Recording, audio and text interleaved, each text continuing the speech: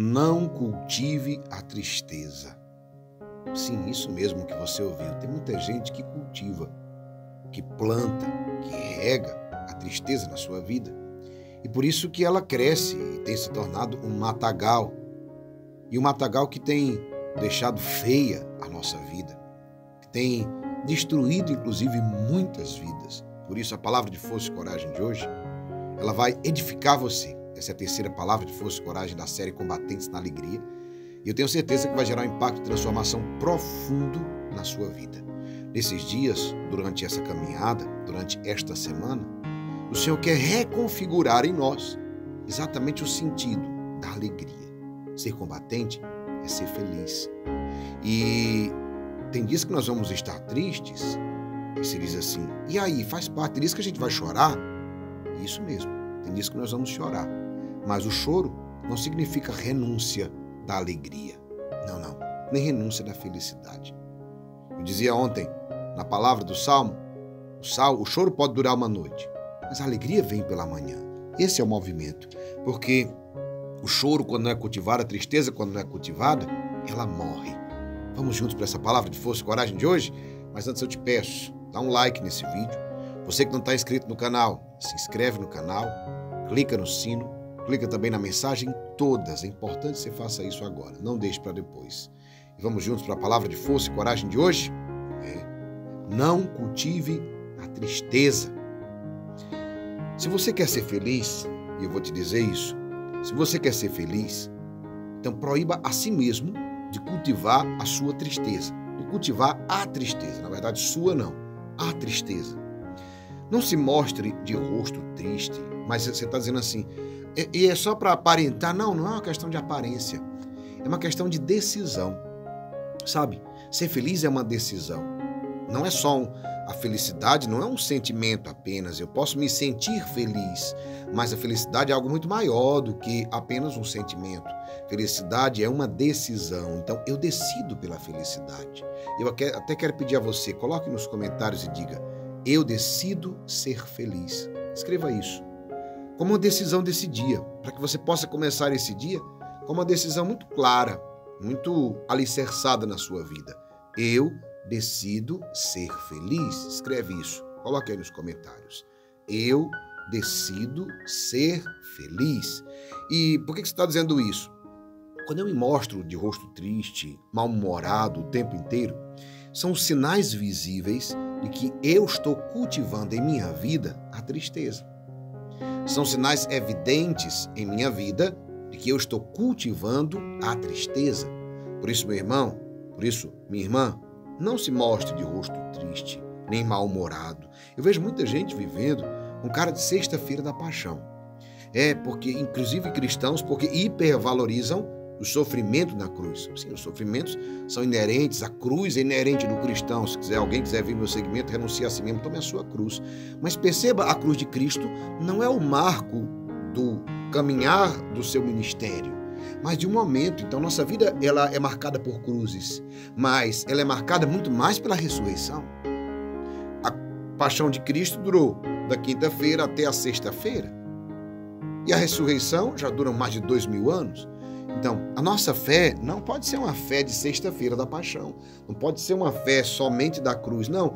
Cruz para o cristão, nós temos que abraçar sim a nossa cruz, mas entender que a cruz é um caminho, a cruz é uma passagem que me leva para algo maior, inclusive para o céu, inclusive também para vitórias aqui na terra, porque nós não podemos achar e nem caminhar como se nós não quiséssemos vitórias aqui também. Queremos, buscamos e fazemos isso. Deus te fez mais que vencedor. Isso aqui é muito importante você saber. Deus te fez mais que vencedor. A nossa face, a nossa face, ela mostra muito, ela expressa, né?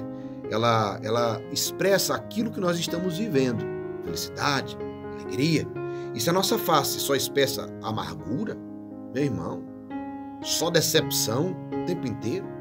E eu não estou falando de uma questão de você viver sorrindo ah, o dia inteiro, do nada e nem para qualquer coisa. Não, não é isso que eu estou dizendo, não mas é permitir que a minha vida seja mais leve, mais doce, mais feliz. Permitir que a alegria invada a sua alma e não deixar que a expressão de tristeza domine os seus dias. Tem muita gente que vive em pé de guerra, com tudo e com todos. Perceba isso. Tem gente que vive o tempo inteiro em pé de guerra.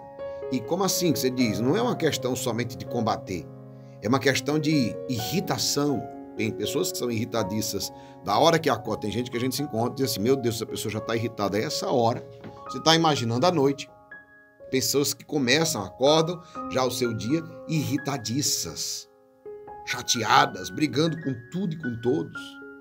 E à noite vai e assim vai levando o dia inteiro, como se estivesse, e briga por causa de política, e briga por causa de futebol, e briga por causa de dinheiro, e briga por causa do trabalho, e briga no trânsito, e briga não sei aonde, e tá lá o tempo inteiro, ou seja, a vida da pessoa vira uma vida amarga, triste. E isso é uma decisão.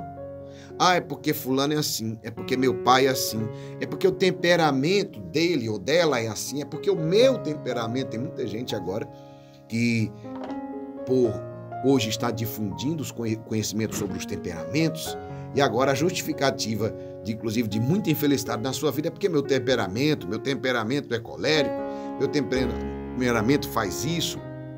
Ei, não terceirize para outras histórias isso. A sua vida é uma decisão. Não importa o seu temperamento. O que você decide viver? O que você decide para você? O que você decide na sua vida? Então, vou te dizer: decida, eu até pedi para você escrever. Eu decido ser feliz. Eu decido ser feliz. Então, se você decide ser feliz, você não pode deixar que a expressão de tristeza domine os seus dias. Primeira coisa, esse aqui é o primeiro ponto. O Senhor diz: Não estejais na tristeza, pois a alegria do Senhor será a vossa força. Olha que palavra forte para nós. Não estejais na tristeza, pois a alegria do Senhor será a vossa força. Estar e eu te pergunto onde? Hoje. Onde você está? Na tristeza ou na alegria? Me responde aí, coloque nos comentários, por favor. Onde, eu te pergunto, onde você está? Coloque essa resposta, por favor. Onde você está? Você está na tristeza ou você está na alegria? É palavra de Deus para nós. Não estejais na tristeza. Não estejais na tristeza pois a alegria do Senhor será a vossa força. A palavra de Deus é muito clara para nós. De onde vem a fonte da alegria? A alegria vem de Deus. É fonte da alegria. A alegria é fruto do Espírito Santo. Quando Deus age em nós através do seu Espírito, quando Deus se move em nós através do seu Espírito, nós ficamos alegres. Perceba as pessoas que ficam cheias do Espírito Santo, elas se alegram, elas louvam, elas sorriem. Por quê? Porque é fruto do Espírito. É o contrário dos frutos da carne. Inclusive, é, é a tristeza, esse viver na tristeza, viver nesse clima pesado, é um fruto exatamente contrário ao fruto do Espírito, é oposição. O fruto do Espírito é alegria. E eu quero te dizer, agora o Senhor é como se eu estivesse dizendo para você e para mim hoje: vai, avança. Não retroceda nenhum passo. Se você decide ser feliz, você não pode retroceder. A palavra central para transformar a tristeza em alegria se chama cultivar. E falei para vocês, não cultive a tristeza, não foi isso? A palavra de força e coragem, esse é o tema, não cultive a tristeza.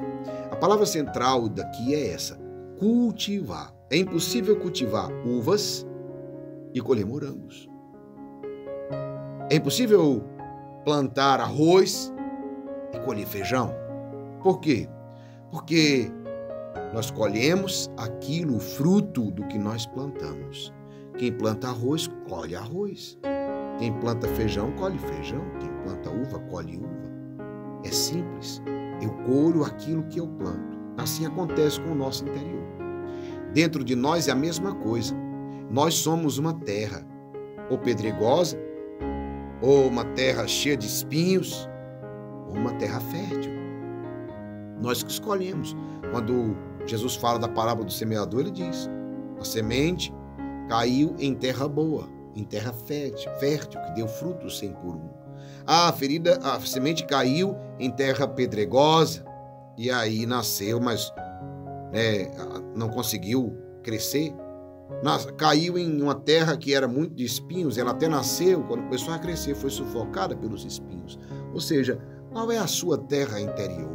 E qual é a semente que você tem deixado crescer na sua, no seu terreno, terreno do seu coração, da sua mente? Sabe? Se você quer vencer a depressão, se você quer vencer a amargura, você não pode cultivar a tristeza. Se você quer colher felicidade, você precisa começar a plantar alegria na sua vida. Como assim, Geraldinho? O que é que você dá atenção? Como você tem reagido? Meu irmão, a boca fala do que o coração está cheio. Você já ouviu isso alguma vez? Então é simples. O que, que tem entrado no teu coração? Que, que tem entrado nos teus ouvidos? Vou te dizer um exemplo. O que é que você lê? Você lê coisas boas ou coisas ruins? O que é que você assiste? Por que, que eu faço aqui incansavelmente séries e mais séries? Todos os dias eu estou aqui firme na palavra de força e coragem. Eu quero exatamente ser uma opção de trazer para você coisa boa, coisa que edifica.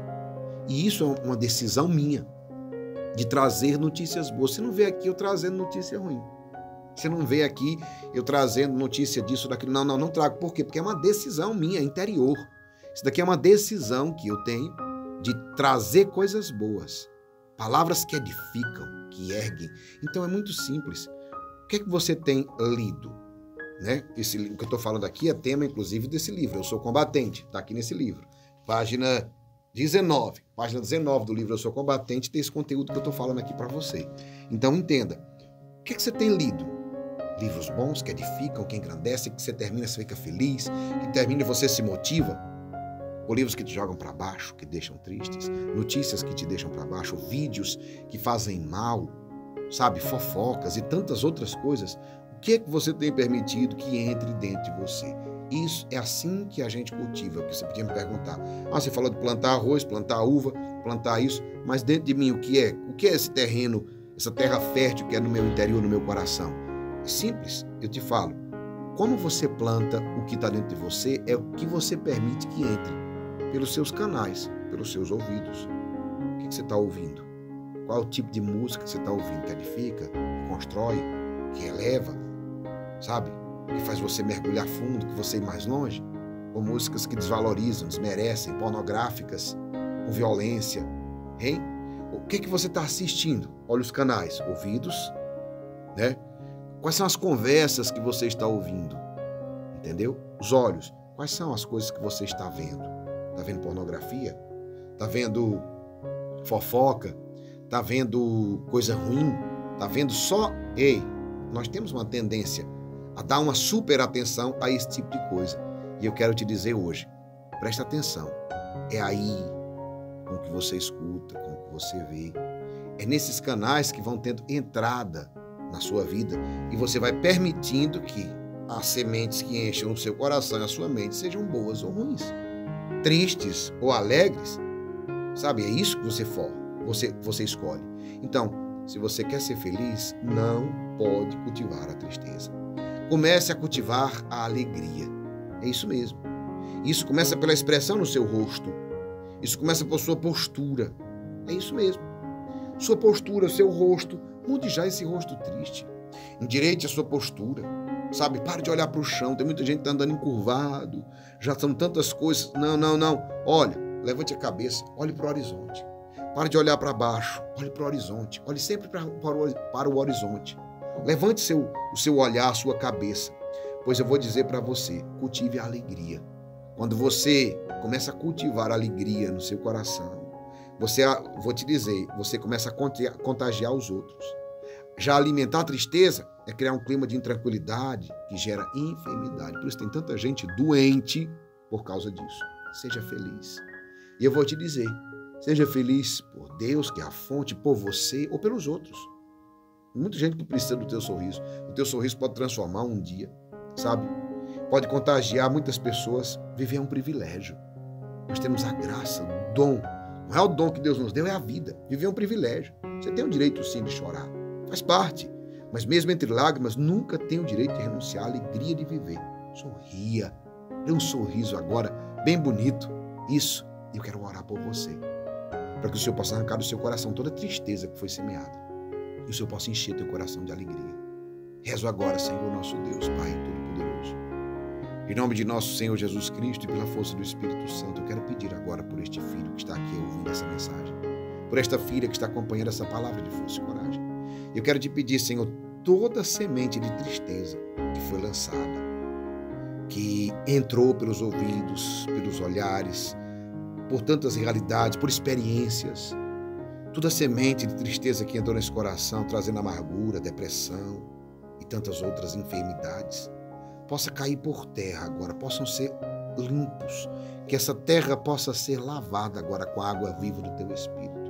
E eu te peço, Senhor, derrama sementes agora, coloca sementes, a boa semente da tua palavra, para que essa semente germine e dê frutos cem por um e aconteça uma grande transformação na vida desse teu filho e dessa tua filha. Eu te peço hoje uma bênção de felicidade. Pela intercessão de São Miguel Arcanjo, príncipe da milícia celeste, da Virgem Maria Imaculada, que esmagou a cabeça da serpente, que esmague toda serpente que ronda as nossas vidas. E nos abençoe em nome do Pai, e do Filho, e do Espírito Santo. Amém. Escreva, Amém. Eu tomo posse. E eu quero te pedir agora, dá um like nesse vídeo. Você que não está inscrito no canal, se inscreve no canal, clica no sino, clica na mensagem todas. Importante que você faça isso agora. E assim você vai receber todos os dias uma palavra de força e coragem. Clica na setinha de compartilhar, por favor. Pega o link. Vai lá no WhatsApp, você vai enviar para cinco pessoas. Clica na seta de compartilhar, pega o link, vai no WhatsApp, você vai enviar para cinco pessoas agora, bem rápido. Faróis, ilumine os quatro cantos da terra. Essa é a nossa missão. Espalhe bênçãos nos céus do Brasil e do mundo. Bem rapidinho você vai fazer isso. Atenção, rotina espiritual dos combatentes. Hoje, meio-dia, nós teremos o poderosíssimo texto São Miguel Arcanjo contra os Mares, na série Combatentes da Alegria. Às 18 horas, uma rápida oração, poucos minutos, poderosa oração do Salmo 22. Então já coloca no teu despertador para você rezar conosco. E às 20 horas, o texto Sagrado Coração de Jesus, do Imaculado Coração de Maria. Eu e Débora estaremos juntos, rezando por você e por sua família. Vem fazer essa experiência conosco, porque ser combatente é ser feliz. Que Deus te abençoe e te guarde. Força e coragem.